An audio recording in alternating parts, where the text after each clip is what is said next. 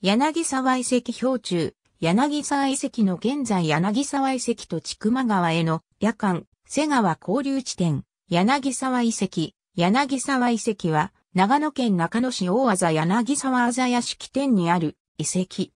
東日本で初めて発見された一括埋納の銅鐸、銅貨などの弥生時代遺物212点が2014年8月21日に国の重要文化財に指定されている。2007年10月、長野県埋蔵文化財センターが国土交通省千曲川河川事務所の計画した堤防整備工事に先立って実施した発掘調査で銅鐸を発見した。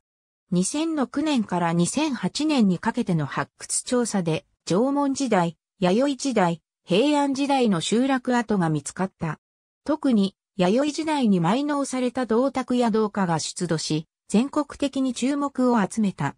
同センターは2020年現在も発掘調査を継続している。千曲川の東岸、夜瀬川との合流点の北側に広がる。範囲は南北800メートル、東西600メートルである。下高海軍市1922年間、下高井、中野市1981年間、柳沢区市1992年間などに出土遺物、古墳の記述がある。青銅器など、弥生時代の遺物が重要文化財に指定された。ありがとうございます。